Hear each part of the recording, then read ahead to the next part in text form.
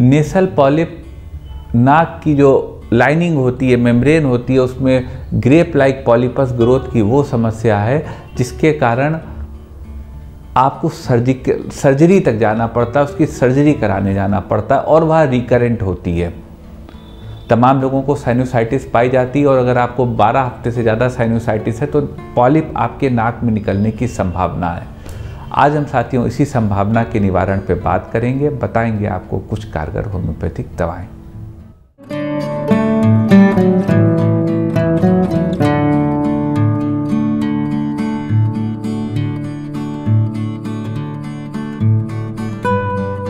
नमस्कार साथियों। Doctor Umang Khanna homeopathy clinic के इस प्रोग्राम में आपका स्वागत है। साथियों, आज हम बात करेंगे नेसल पॉलिप के विषय में। नेसल पॉलिप आपका जो नेसल मेम्ब्रेन होती है, उसके अंदर गुच्छे ऐसी, ग्रेप्स की ऐसी ग्रोथ होने लगती है। और बच्चे लोगों की नाक आमतौर पर इससे बंद रहती है, उनको जुकाम बना रहता है और छींकें आती रहती हैं और इस तरह की तमाम समस्याएँ होती हैं। आज हम आपको बताएँगे, साथियों, कुछ कारगर होम्योपैथिक दवाएँ जो आपके इस नेसल पॉलिप को ख़त्म करके आपको सर्जिकल प्रोसेस से बचाने के लिए मददगार साबित हो सकती हैं। सबसे पहले साथियों, जान लेते हैं नेसल पॉलिप होता क्या है। नेसल पॉलिप साथियों, आपकी जो नोज़ की लाइनिंग होती है, इसके अंदर की ग्रोथ होती है, यह नॉन कैंसरस होती है और ग्रेप लाइक होती है।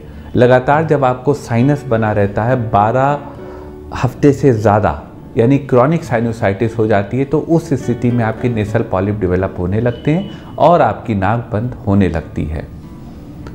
सिम्टम साथियों नेसल पॉलिप के सिम्टम आपकी नाक बंद होना, पानी ऐसी नाक होना, सर में आगे की तरफ़ दर्द होना, जिस करवट आप लेटे उधर नाक बंद होना, नाक से बदबू आना, इस तरह के सिम्टम्स होते हैं जो नेसल पॉलिप के मरीज़ में पाए जाते हैं। एक्सरे से यह आराम से दिख जाता है, आप इसके लिए एक्सरे भी करा सकते हैं। और आप यूँ भी टॉर्च से देखेंगे तो आपको ग्रेप्स के गुच्छे ऐसे लटके हुए नाक में दिखेंगे। नेसल पॉलिप के कारणों की बात कर लेते हैं साथियों। नेसल पॉलिप के कारण आज तक अननोन है। माना यह जाता है कुछ मार्कर क्रोमोजोम्स होते हैं और ऑटो इम्यून व्यक्ति का जो रिस्पांस होता है, यह दोनों चीज़ें मिलके एक नेसल पॉलिप कॉज करती हैं। लेकिन फ़िलहाल नेसल पॉलिप हैं किसी के तो उसका समाधान होम्योपैथी में संभावित है। आज हम बताएँगे कुछ कारगर आपको दवाएँ इसी विषय में। लेकिन दवाएँ बताने से पहले साथियों, बता दें, दवाएँ आपकी जानकारी के लिए हैं। कोई भी दवा बिना कुशल चिकित्सक से पूछे मत लीजिएगा। तो चलते हैं साथियों उस सफ़र पे जिस पे आपको बताते हैं, नेसल पॉलिप को ठीक करने की कुछ कारगर होम्योपैथिक दवाएँ। साथियों, नंबर एक दवा जो होम्योपैथी में नेसल पॉलिप को ठीक करने की आती है या यूँ हम कहें दो दवाएँ आती हैं, वहाँ है लेमना माइनर का मदर टिंचर और काली बाइक्रोम। अगर आपके नाक में बदबू ऐसा बदबू महसूस हो रही है और नेसल पॉलिप की स्थिति है तो आप लिम्ना माइनर 10 बूंद दिन में चार बार मदर टिंचर आधे कप पानी में ले सकते हैं। यह आपके जो नाक से बदबू आ रही ऑफेंसिव ऑर्डर है, उसको भी ठीक करने में मदद करेगा और आपके पॉलिप्स को भी धीरे धीरे ख़त्म करने में हेल्प करेगा। एक स्थिति साथियों आती है कि मरीज़ को बहुत छींकें आती रहती हैं किसी भी एलर्जन से, जैसे सुबह उठे तो छींक आ रही, शाम हुई तो छींक आ रही। मतलब सुबह और शाम के टाइम तकलीफ़ें बढ़ रही हैं और उसको नेसल पॉलिप है अगर यह स्थिति हो साथी हो तो इस स्थिति को ठीक करने की होम्योपैथी में बहुत कारगर दवा है, हिपर सल्फ़र। आप हिपर सल थर्टी पावर में दो दो बूंद दिन में तीन बार हर उस मरीज़ को दे सकते हैं, जिसको कि हाइपर सेंसिटिविटी हो। सुबह और शाम तकलीफ़ें बढ़ती हों, पीले रंग का नाक से बलगम आता हो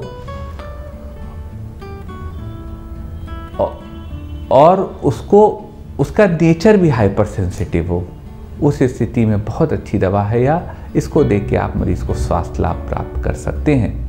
नेसल पॉलिप में साथियों, एक बहुत कॉमन कंडीशन आती है कि नाक बंद हो जाती है। मरीज़ जिस करवट लेटा, उस तरफ़ नाक बंद हुई। तो अगर यह सिम्टम है साथियों तो इस स्थिति को ठीक करने की होम्योपैथी में बहुत कारगर दवा है ट्यूक्रियम मेरम वेरम यानी टीएमबी आप T M V thirty power में दो दो बूंद दिन में तीन बार ले सकते हैं। जब किसी मरीज़ को नेसल पॉलिप हो, वह मरीज़ ले सकता है।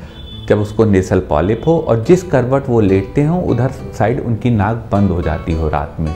तो ऐसी स्थिति की बहुत अच्छी दवा ट्यूक्रियम मेरम विरम है। एक स्थिति साथियों आती है कि मरीज़ को साइनोसाइटिस हो, लगातार साइनोसाइटिस बना रहता हो, जब 12 हफ़्ते से ज़्यादा साइनोसाइटिस होता है तो उसको यह दिक्कत होने लगती है। तो अगर वह स्थिति हो साथियों तो उस स्थिति को यानी साइनोसाइटिस प्लस नेसल पॉलिप ठीक करने की होम्योपैथी में दो या तीन बहुत कारगर दवा है। पहली दवा है साइलिसिया साइलिसिया 200 पावर की दो दो बूंद दिन में दो दो बूंद वीकली मरीज़ को तीन बार हर हफ़्ते दे देनी चाहिए और साथ में काली बाइक्रोम थर्टी और अमोनियम कार्ब थर्टी। दो दो बूंद दिन में तीन बार देनी, दे देनी चाहिए। इन तीनों दवाओं से मरीज़ का नेसल पॉलिप भी ख़त्म होगा और उसका साइनोसाइटिस भी ठीक होगा। यदि साथियों, किसी मरीज़ के right side right side nasal polyp है तो उसको ठीक करने की होम्योपैथी में दो बहुत कारगर दवा है। पहली दवा है सेंगुनेरिया और दूसरी दवा है काली नाइट्रिकम। सेंगुनेरिया 30 पावर में दो दो बूंद दिन में तीन बार आप उस स्थिति में दे सकते हैं, जब मरीज़ को राइट साइडेड पॉलिप हो और उसके पानी ऐसी डिस्चार्ज नोज़ से आ रहा हो। उस स्थिति में सेंगुनेरिया बहुत कारगर दवा है, मरीज़ को दी जा सकती है।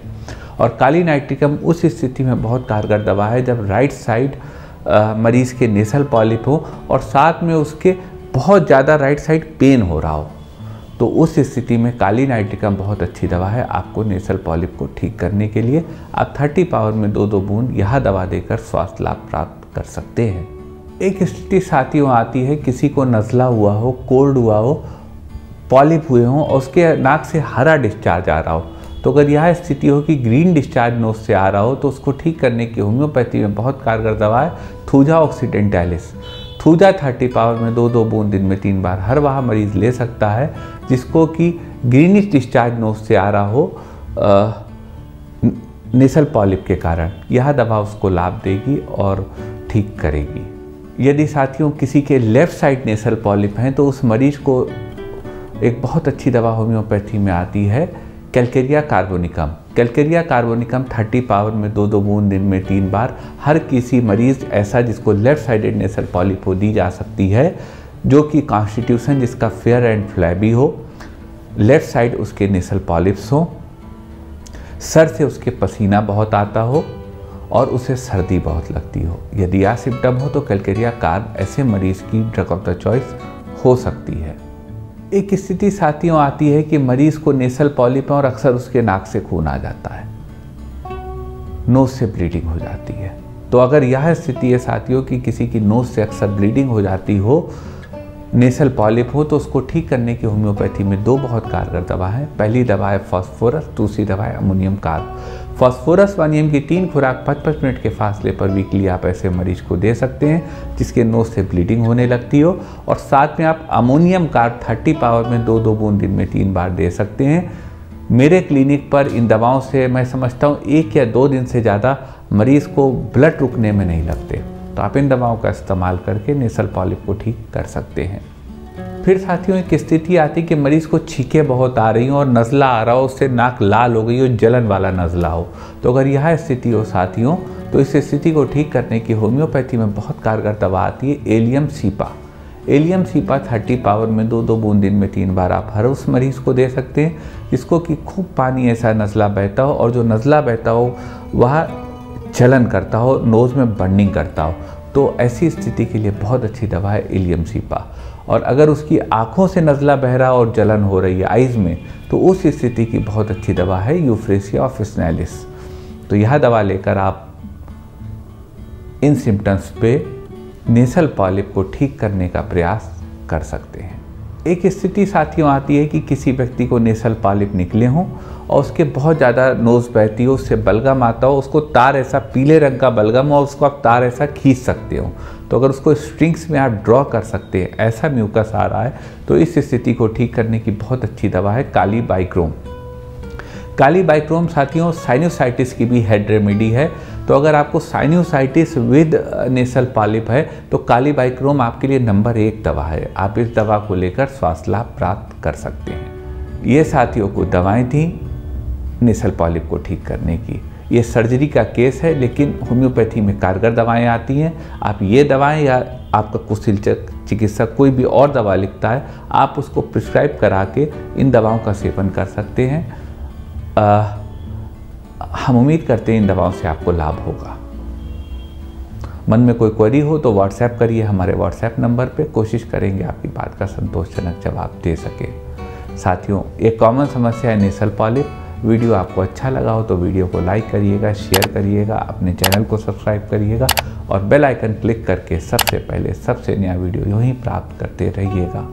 आपका साथियों, इतनी देर हमारे साथ रहने के लिए बहुत बहुत धन्यवाद।